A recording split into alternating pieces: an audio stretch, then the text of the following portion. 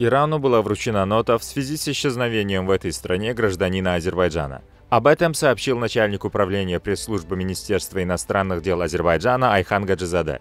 По его словам, 9 марта 2023 года во внешнеполитическое ведомство Азербайджана поступило обращение касательно информации о том, что гражданин Азербайджана, студент Йенского университета Германии Фарид Кабилоглы Сафарли, 1997 года рождения, 20 февраля отправился в Исламскую республику Иран, но с 4 марта о нем не поступало никаких известий.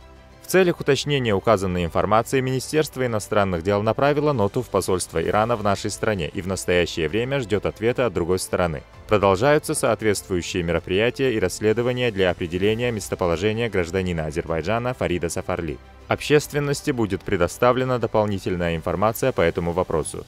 Айхан Гаджизаде напомнил, что после террористической атаки на посольство нашей страны в Иране 27 января 2023 года Министерство иностранных дел Азербайджана распространило предупреждение гражданам нашей страны о том, что им не рекомендуется посещать Исламскую республику Иран без необходимости, а тем, кто все же посетит эту страну, необходимо проявлять повышенную осторожность.